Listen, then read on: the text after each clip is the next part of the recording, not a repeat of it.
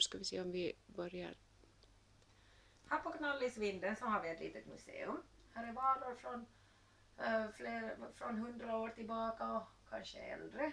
Här finns alla världens grejer, kaffeburkar, sockertoppar och där är Klobbnäs pepparkakor och här är från med kryddsill från, från, från Västa. Så finns det allt möjligt annat som fanns förr i en butik. Här är bland annat pappersskor.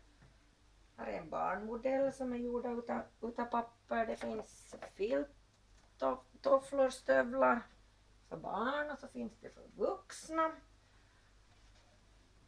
Och så finns det en massa annat som förr fanns i butikerna. Kaffe kunde man mala och västapapper och sånt.